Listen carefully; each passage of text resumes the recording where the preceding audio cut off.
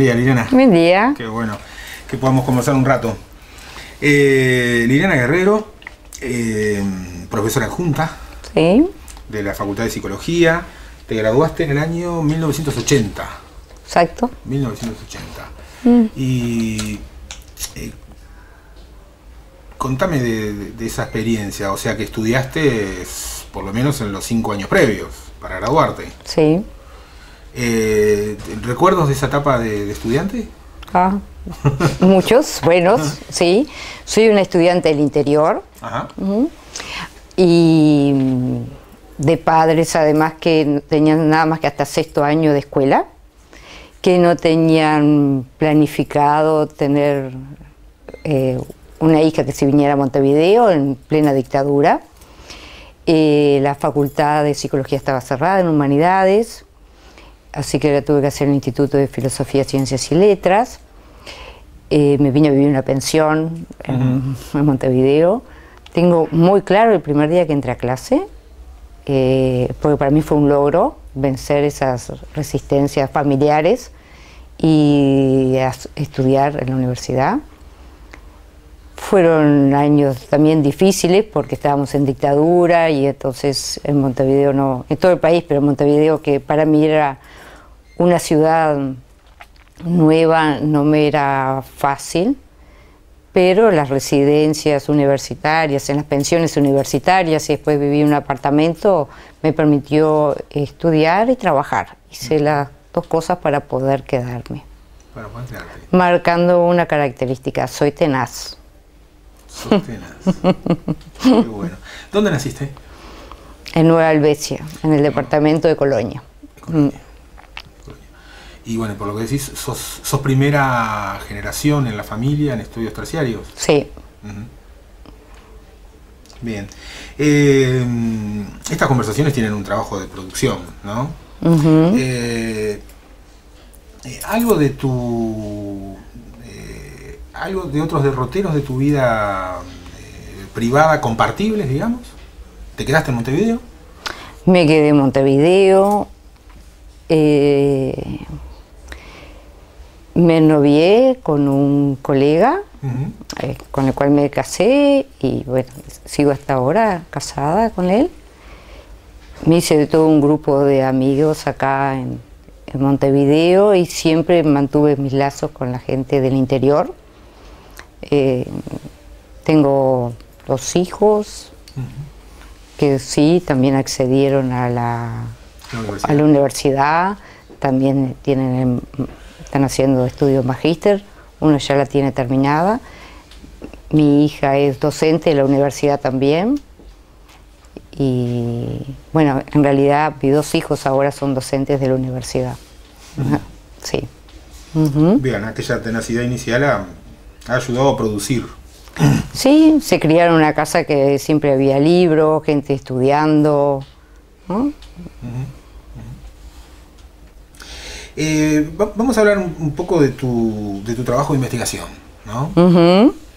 Eh, durante, durante mucho tiempo has estado, por lo menos para, para el mundo académico, profesional, para lo- los legos que miramos tu producción, vinculada a, a equipos de trabajo en investigaciones sobre cambio psíquico. Sí. ¿Mm? Eh, eh, ¿Qué son los estudios o las investigaciones sobre el cambio psíquico? Bueno, hace años que sí que estoy estudiando eso, sobre todo lo que me interesa y le interesa a los equipos con los cuales trabajo es poder evaluar si se producen cambios en el sujeto, en la vida interior del sujeto, eh, después de las intervenciones psicológicas. Digo de la vida in- interior, o sea, del, tratando del aparato psíquico, porque no medimos tanto si bajan los síntomas o si logros externos, que no, no son un, elemento que nos interesa investigar, sino si se producen variaciones que hagan eh, una mejoría en el sujeto, un bienestar. ¿Mm? Eh, esto también se une a otra de las cosas que a mí me gustan, a mí me, me, gusta mucho trabajar en equipos, me gusta trabajar mucho con otros y para otros. Y entonces el investigar y el investigar los cambios que se producen en los sujetos después de las intervenciones psicológicas cumplen las dos funciones porque es devolverle a los usuarios y a la población, después podemos conversar sobre proyectos en relación a eso, eh, los resultados, tanto cuando son favorables como cuando no son favorables, de los cuales un investigador tiene siempre un aporte para seguir trabajando. ¿no? Mm. Eh, otra, otra línea de, investigación importante, que obviamente está relacionada en el, campo de, esto que yo podría ubicar como investigaciones en el campo clínico, ¿no? muy, mm. de forma muy, muy lata, muy, muy laxa, muy genérica, son las investigaciones acerca de la y el trabajo tuyo en equipos multidisciplinarios relacionado a eh, operaciones de cambio de sexo. Ah, sí, ¿Mm? sí, sí, sí. Eh, durante mucho tiempo, mm. eh, vos y los equipos que vos integrabas mm. han sido referentes para la formación de, psicólogos y de otros profesionales en estas temáticas en momentos en donde estas temáticas no, no, tenían quizá la presencia social que tienen hoy. Sí, sí. Los primeros usuarios que llegaron, que yo vi en el hospital de clínicas, ya habían llegado antes, pero que yo vi, que parte del desempeño de mis horas como docente es en el hospital de clínicas, fueron en el año 95 de hecho, en el año 98 fuimos a un congreso a presentar un trabajo sobre, en aquel momento lo llamábamos los pacientes que solicitaban cirugía de reasignación de sexo. Eh, han pasado muchos años, hicimos distintas variaciones, eh, pusimos en marcha una investigación para ver cuáles eran las características de esos usuarios, eh, en un momento le aplicábamos diagnósticos, hacíamos diagnósticos psicológicos, después promovimos que se hiciera un programa más unificado entre psicología, psiquiatría, psicología médica y endocrinología, los efectos de tener una visión global del paciente. Después eh, fuimos a un congreso a presentar una ponencia sobre el género, la identidad de género, y nos encontramos con unos brasileros y tuvimos un intercambio de tres días con ellos porque nos pusimos a trabajar e intercambiar, y eso hizo un, un salto en la perspectiva de cómo ver el tema. De hecho, dejamos de eh, evaluarlo como un diagnóstico, nos separamos totalmente del tema del concepto de trastorno y los acompañamos a los usuarios eh, a, poder asumir su situación de identidad de género desde un lugar distinto, más con un compromiso de lo social, más como una construcción social de género eh, nos vinculamos eh, con el Ministerio de Educación y Cultura, que estaba haciendo, poniendo en marcha la ley 18.620. hicimos actividades de extensión en donde participaban los usuarios directamente y la población y los académicos. Realmente fue en, un espacio EFI, estuvo muy, muy, muy interesante. En este momento la policlínica de reasignación de sexo como policlínica se cerró. Eh, lo cerró psiquiatría a punto de partida que el hospital decidió no operar más. Eh, yo pienso que el hospital universitario se perdió la oportunidad de ayornarse, de entender que, que ya los pacientes no piden tanto las operaciones, que piden quizás más una armonización de algunos aspectos, pero no total. Antes de la ley, si para cambiarse el documento de identidad tenían que tener una operación de, sexo, cosa que ahora no. Y que creo que se podría abrir como un espacio mucho más de cooperación y junto con el MIDES y con todo lo que el MIDES está fomentando de inclusión, de integración de, las personas que tienen cirugía solicitaban cirugía de resignación de sexo, que la mayoría además no son de Montevideo, no todos están bajo la línea de pobreza, hay universitarios, hay clase media con distintos niveles culturales. Eh, en estos momentos, en estos últimos meses estamos transitando que al cerrar el, programa se cerró como una puerta y entonces, sin embargo, yo entiendo que esos pacientes o esos usuarios o esos eh, ciudadanos tienen que tener un acompañamiento, pues se sienten como muy desamparados. Y bueno, estoy en este momento haciendo un poco esa, apoyatura y buscando de qué manera mm, el MIDES, el Ministerio de Educación y Cultura, también sacarlo del ámbito del hospital, que me parece justamente adecuado, porque no siempre va acompañado de un problema mental. La mayoría de las veces no. Qué bueno. Todo un cambio. De los primeros artículos cuando fuimos a Chile, que es un problema de identidad y un problema de identidad de género a esta situación. Eh, muchas de estas actividades obviamente han estado vinculadas con, tu ser docente. Sí, claro. Eh, ¿Cómo te caracterizas como docente? Me gusta la docencia con el... Soy una docente participativa, en realidad porque casi siempre he tenido la modalidad de prácticas o de servicios como se llamaban antes. Entonces tengo un trato directo con el alumno y me, de trabajar en conjunto.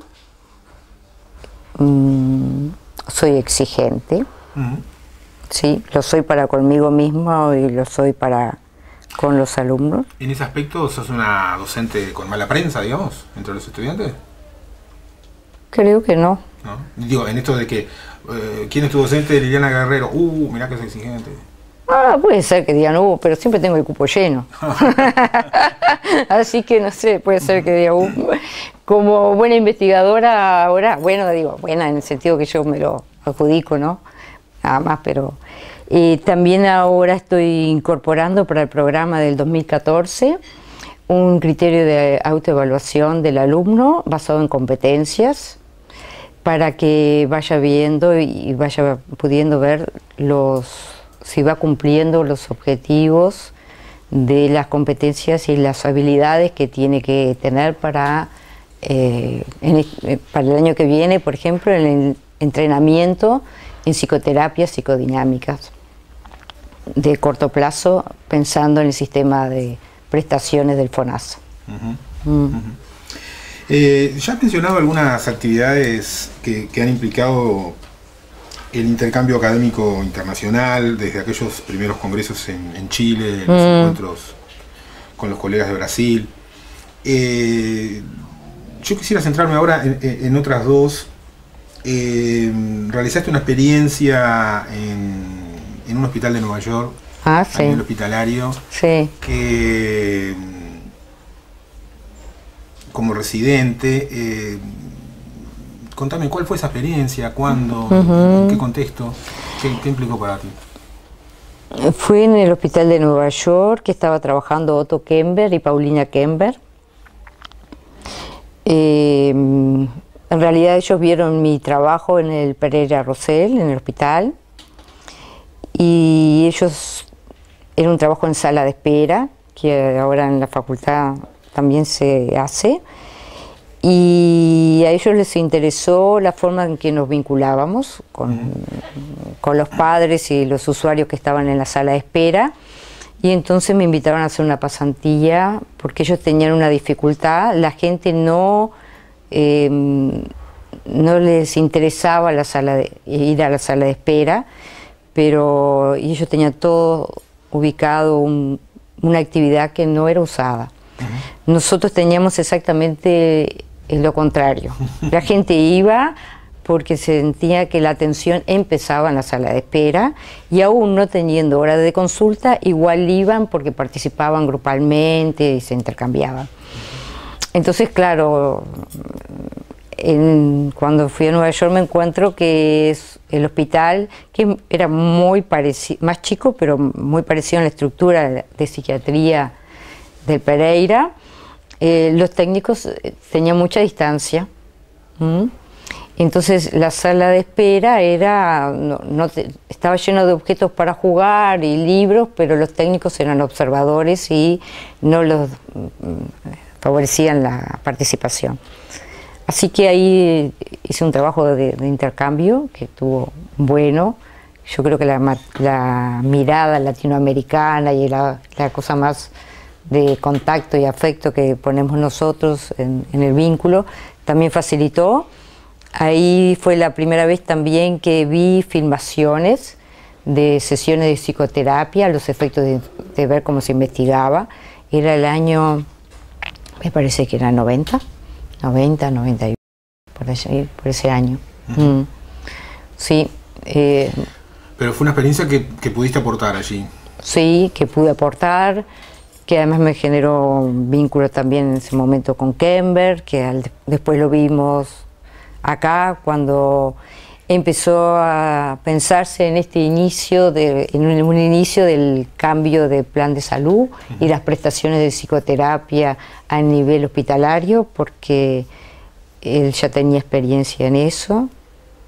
Me acuerdo que fue una reunión en el Ministerio de Salud Pública, una audiencia abierta. Recuerdo que fui con mis alumnos porque le planteé, esto es una oportunidad. Y bueno, ahí estuvimos, eh, sí, ahora viéndolas para los 20 años, digo, tengo que conseguir la foto que nos sacamos, porque nos sacamos una foto, porque yo dije, esto es histórico, esto va a pasar. Sí, bueno, y de hecho... Y se concretó. Se concretó. Eh, otra experiencia fue tu visita a, San Francisco. Ah, sí, eh, a la clínica del doctor Maggi. Sí, eso se enmarca en una investigación de las escalas de capacidades psicológicas del doctor Wallenstein, un americano, que nosotros le pedimos autorización para traducirla y adaptarla con el equipo de investigación y vinieron de California, que el equipo de Valentine nos mandó a, por 720 trajimos a Maggi y la Fulbright, que es un doctor en investigación en psicoterapia, a capacitarnos en esa escala. Después de eso yo viajé a California a los efectos de ver cómo eh, estamos organizándonos en la adaptación y para chequear y de allí surgió también la posibilidad de traer, que después lo concretamos, de traer a Clarkin, que es el segundo investigador en el mundo en psicoterapia psicodinámica. Sí. Eh, ¿Esa investigación cómo ha seguido? La adaptación de la escala. La, la escala está traducida, eh, eso dio lugar a que nos presentáramos a un proyecto I D que ganamos que es de, intervenciones psicoterapéuticas de un año de duración en un servicio universitario que toma la escala, se le aplica la escala al inicio, en la mitad del tratamiento y al final, en nada más que 12 meses de duración. Estamos ya con toda la, la población que ya tomamos, estamos en las segundas segundas y terceras tomas. Eh, avanzamos muchísimo cuando vino Clarkin. Eh, para nosotros fue muy importante como equipo, con Rosa Sidner, Laura de Sousa, Denis Domanas y después estudiantes en aquel momento y ahora las ingresamos como concursaron, ingresaron como grado 1 Evangelina Curvelo y Daniela Gleiser. Em, la avenida de Clarkin eh, y la posibilidad a través del centro de investigación de que otros investigadores de, de la Facultad de Medicina y del resto de nuestra facultad vinieran a participar, nos dio una cuestión de disciplina metodológica que en su momento no la teníamos con tanta rigurosidad. Él compartió con nosotros 15 días con jornadas de 8 horas y entregas al otro día, así que fue a full, sí. Eh, estamos pensando traer a alguien mm, como él para el año próximo y juntarnos junto con otros, porque como también pertenezco al capítulo latinoamericano de Sociedad de Investigación en Psicoterapia, y se están reuniendo en el Centro de Investigación de Psicología Clínica, al cual yo soy uno de los miembros de la dirección, nos pareció realmente bueno eh, unirnos con otros investigadores y generar una investigación multicéntrica, sobre todo con la experiencia de unir cambio psíquico y las prestaciones cortas pensando en el plan de salud. Bien, bien, bien. Ya eh, este último proyecto que mencionabas, estas, estas intervenciones psicoterapéuticas de un año de duración, sí. es hoy por hoy tu, tu, proyecto de investigación estrella, digamos, es tu tarea actual en este momento prioritariamente en investigación. Bueno, en investigación sí, en investigación sí, es mi, estoy en el medio de, la investigación y así que sí, eh, tal vez mi, unido a esa investigación, lo que más me, está motivando es que me di cuenta, y nos dimos cuenta en el equipo, que teníamos que generar una práctica, una modalidad de práctica que entrene a los terapeutas, que haga entrenamiento a los futuros psicólogos. Un entrenamiento serio, eh, constatable, por lo cual este año ya estuvimos filmando todas las, ah, con la autorización de los usuarios, todas las sesiones, tanto las que hacíamos nosotros como nuestros alumnos, y chequeándolo y viendo las competencias. Compramos videos con, la, con el dinero de la investigación para poder eh, ver cómo se entrenaba y hacer entrenamientos para estudiantes a punto de egresar para que realmente se puedan desarrollar como terapeutas y puedan cumplir con los objetivos que se acuerdan con el paciente. En vistas de, eh, pienso que en algún momento, viendo la bibliografía que hay en el mundo y las experiencias en el mundo, también las prestaciones van a medirse si son eficaces, si la gente mejora o no.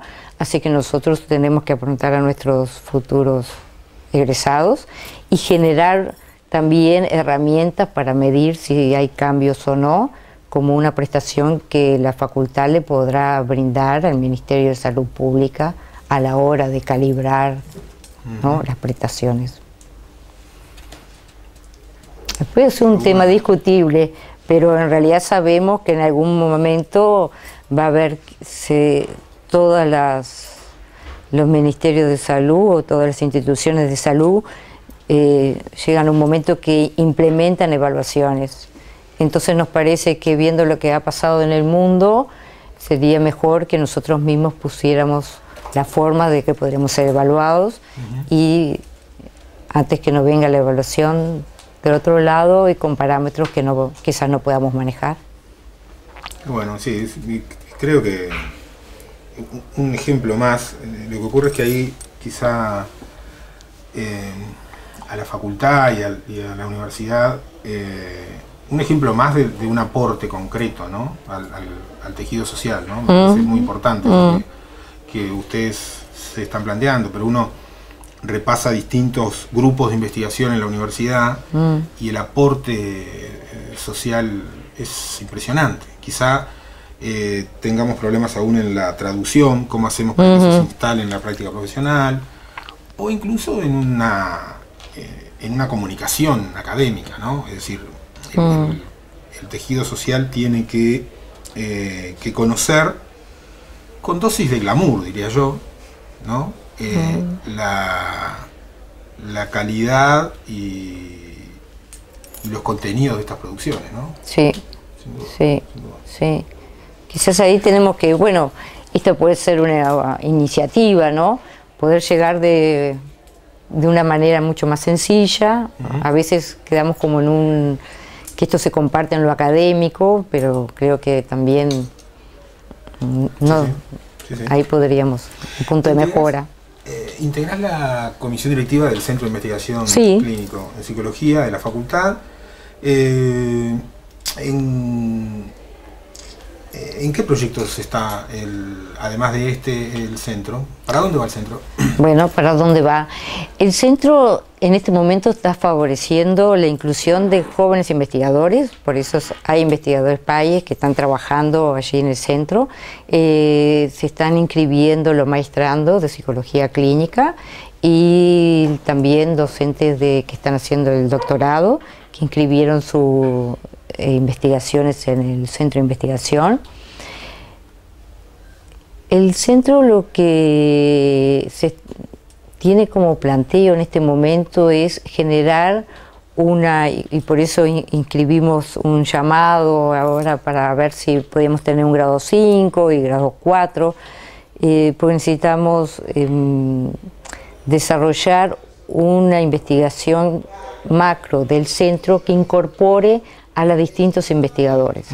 Cada cual viene haciendo su línea de investigación pero pensamos que el, centro tiene que tener una línea macro con respecto a todos los usuarios que ingresan, independientemente de lo que estudian, por ejemplo, las investigaciones que están haciendo con respecto al, plan Ceibal o a la generación de Millennium y el déficit o no atencional, o otros investigadores que están eh, trabajando sobre corredores terapéuticos o sobre adaptación de escalas o sobre la vida de pareja que son de distintas áreas. Entonces ahora pensamos agruparlos en dos o tres subgrupos y generar una investigación por encima que sea macro. ¿Cuál es la población que consulta en el centro de investigación, que va espontáneamente, que nos tiene como referencia?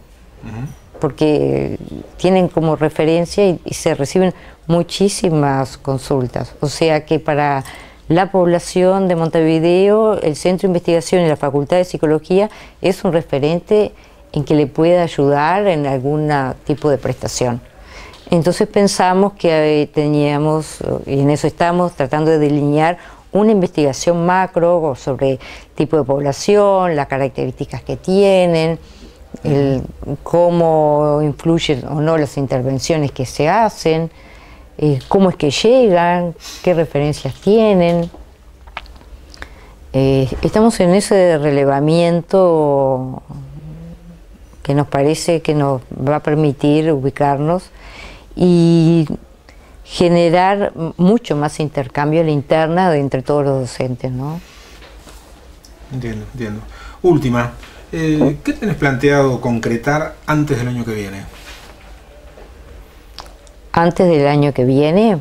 Bueno, eh, se acaban de ingresar dos eh, investigadoras nuevas, grado 1, a la investigación que dirijo, así que estoy hoy después de acá ya haciendo el plan de inducción con ellas. Eh, para nosotros es un gusto de que tener grados 1 nuevamente en la investigación. Y tengo propuesto, voy a ver si lo puedo lograr, eh, hacer una publicación en una revista arbitrada. Estoy ahí. Estoy ahí, ahí. Trabajando en, eso, calculo que sí, que llega. Me, quedan 30 días. Bueno. es un eh, buen desafío. Bien. Eh, buenísimo. Muchas gracias, Liliana. Un gusto. Nada.